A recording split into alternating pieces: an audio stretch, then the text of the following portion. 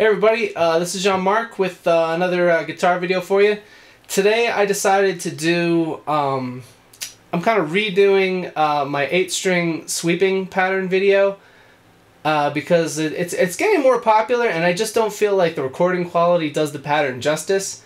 Um, so I decided to re-record it using um, my normal recording setup uh, instead of my bootleg YouTube setup, which is just a webcam with the built-in mic, um, which is why the, the tone is so terrible. Is I kept playing with my amp to try and not overwhelm the, uh, little tiny mic on the on the laptop, but um, it really just kind of gave me lousy tone.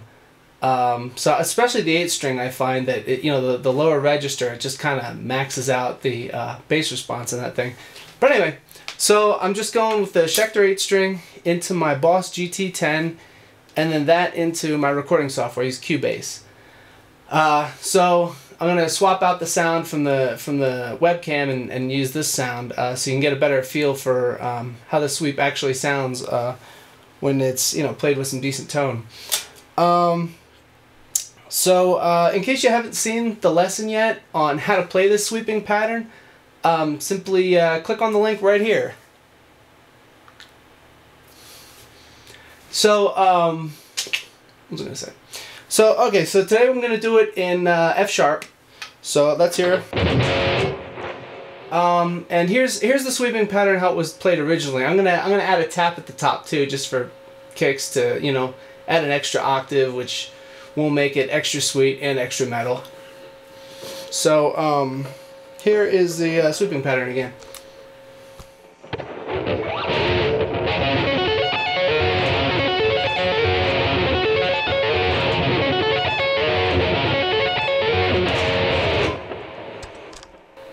So that's that's how it goes without the tap.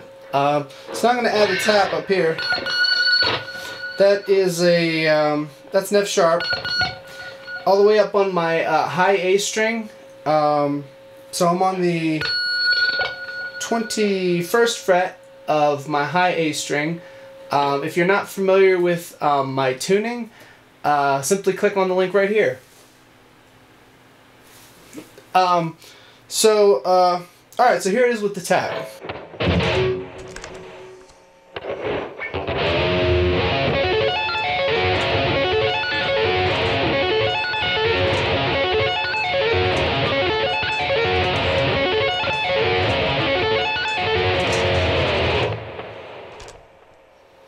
I hit most of them. Uh, so, pretty cool pattern. Uh, give it a shot.